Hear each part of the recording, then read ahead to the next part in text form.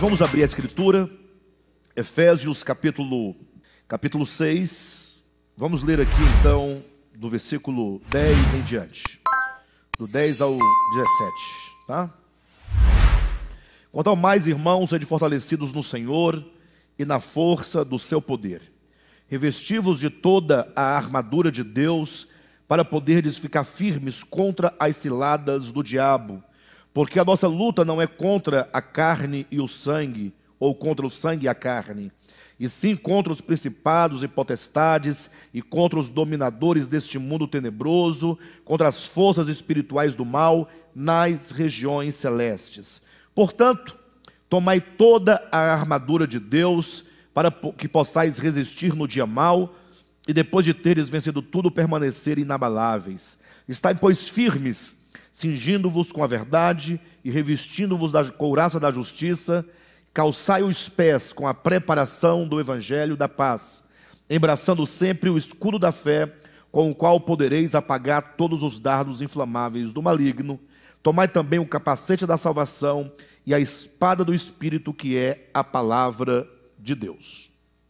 Queridos, uh, eu preciso insistir com os irmãos Talvez não seja nem insistir a palavra, né? Mas talvez seja ensinar mesmo. Creio que há muitos irmãos que estão chegando agora no ministério, irmãos que estão começando agora a acompanhar as mensagens na transmissão no YouTube. E por chegar agora, é, nesses dias, né, ultimamente, é, sabe pouco sobre o ministério de volta à palavra. E acaba que por não conhecer o ministério, acaba tecendo alguns comentários é, que logo quando você lê o comentário lá no, no, no chat, por exemplo, você percebe que a pessoa está totalmente fora de conexão com o que está sendo dito. Né? A pessoa está como que tentando nos corrigir em algum aspecto, só que a pessoa não sabe o que, que nós estamos falando. A pessoa não sabe. Não pense vocês que é chegar no ministério, seja presencial ou seja à distância, seja online, seja pelo YouTube, não pense que na primeira vez você vai estar entendendo o que nós estamos falando. Você não vai estar entendendo. Você não entenderá.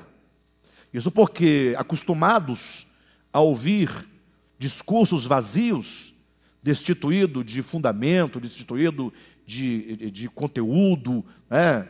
de uma consciência crítica do texto bíblico, da teologia bíblica como um todo, uh, da economia de Deus no Novo Testamento. A pessoa, por não ter o costume de ouvir discursos embasados e desenvolvidos, uh, pensa que nós estamos falando o que ela está ouvindo. Isso não é verdade.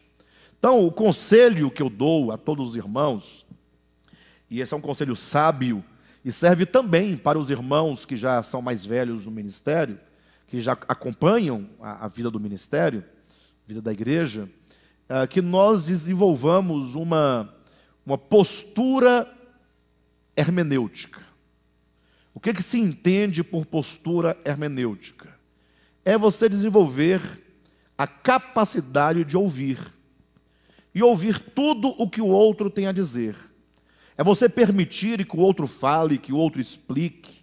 E você então não somente ouvir até o fim, e não somente ouvir atentamente até o fim, mas desenvolver um esforço para compreender o que se diz, procurar desenvolver o esforço, se esforçar para procurar tocar naquilo que está sendo dito de fato e de verdade. Porque se de repente eu falo uma frase, o indivíduo na internet reprova, uh, é porque eu não estou vendo. Se eu estivesse acompanhando, os irmãos viriam, perceberiam que não funciona, não dá certo.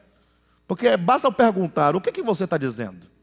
E logo, quando a pessoa disser, logo se observará que a pessoa não está falando nada do que nós estamos dizendo.